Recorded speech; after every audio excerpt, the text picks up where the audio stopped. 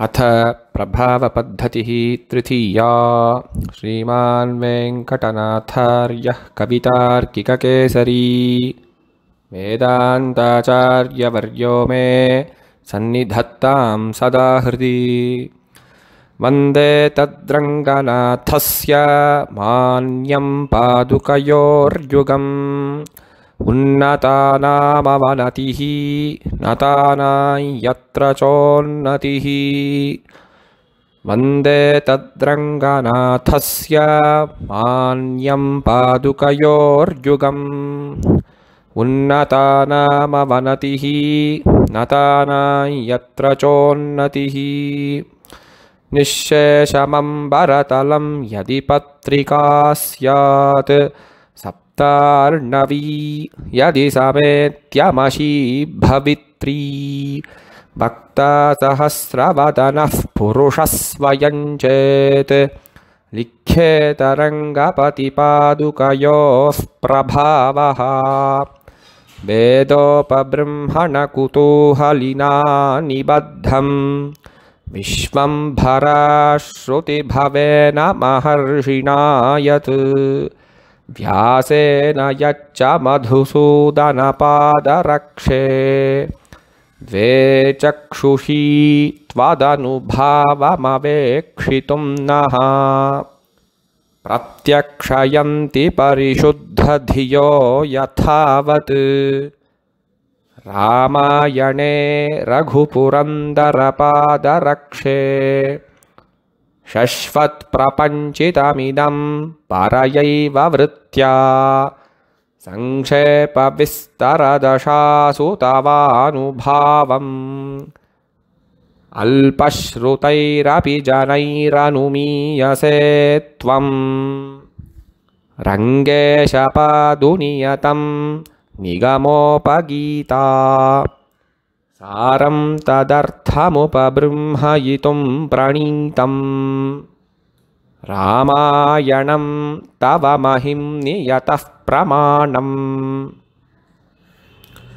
तिष्ठन्तु श्रुतयस्ततोऽपि महितं जागर्ति तत्पादुके। तत्तादृक्प्रथनायतावकगुणग्रामाय रामायणम्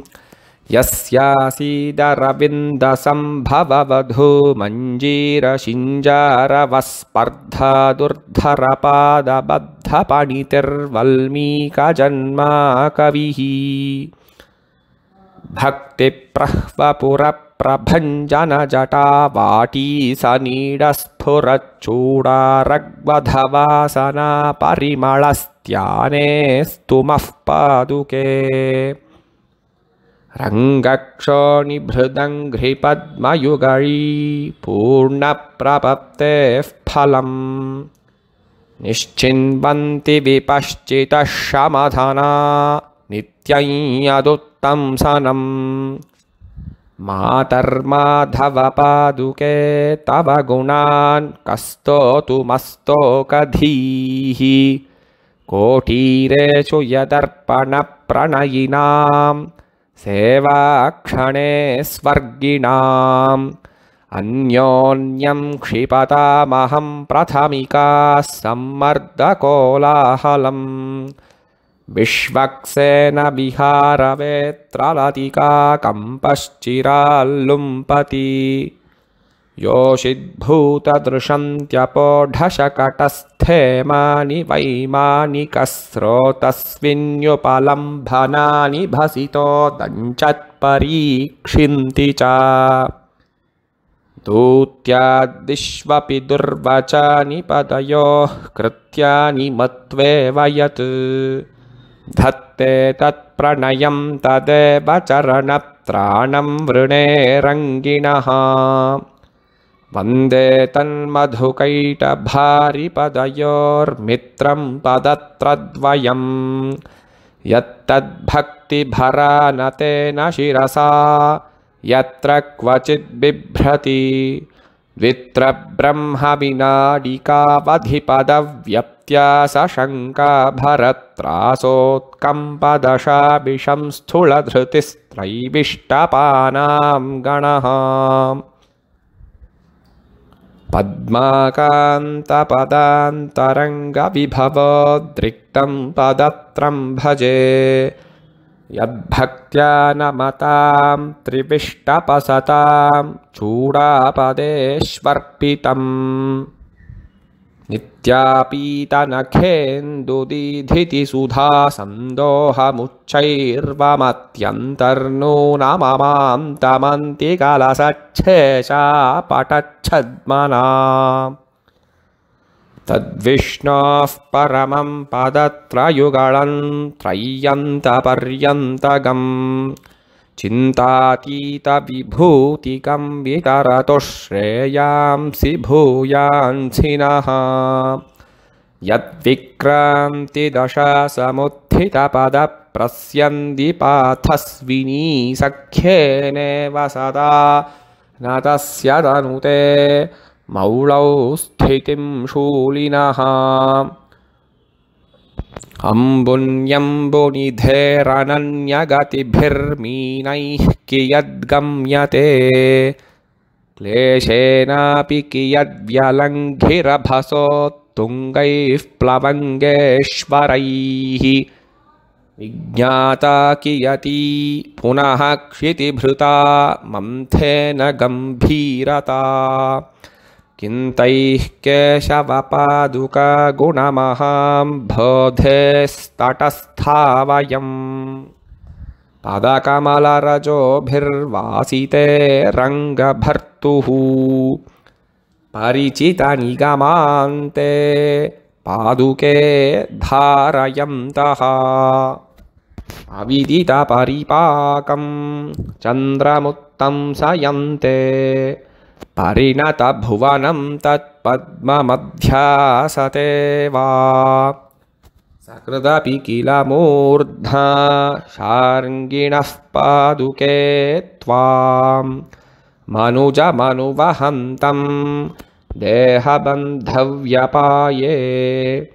उपचरति यथार्हं देववर्गस्त्वदीयः स तु नियमितभृत्यः। जोषमास्ते कृतान्तः। पदसरसिजमेतत्पादुके रङ्गभर्तुः। प्रतिनिधिपदवीं ते गाहते स्वेन भूम्ना। तदिदमपरधा चेत् तिष्ठतस्तस्य नित्यं कथमिव विदितार्थास्त्वां भजन्ते महान्तः। श्रुतिशिरसि निगूढं कर्मणाञ्चोदितानां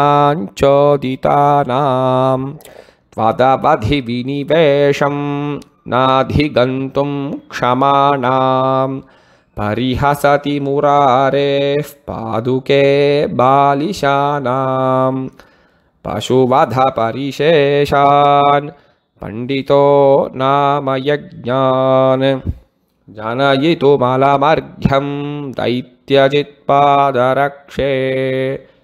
नमति महति देवे नाकसिन्धोर्विशीर्णाः मुहुरहिपतिचूडामौळिरत्नाभिघातात् परिणतलघिमानः पाथसा मूर्मयस्ते पदसरसिजयोस्त्वं पादुके रङ्गभर्तुः।